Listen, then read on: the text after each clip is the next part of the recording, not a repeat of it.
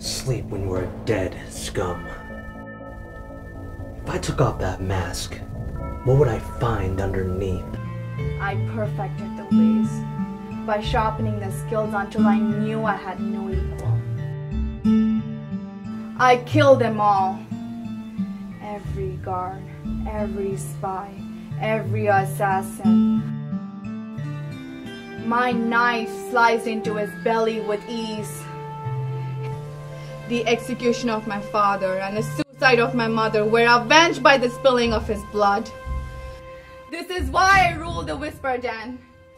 This is why I am the Lord of Stealth and Silence. This is where you tell me why you came here.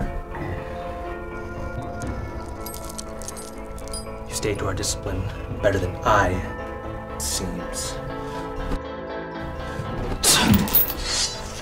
Speak or die.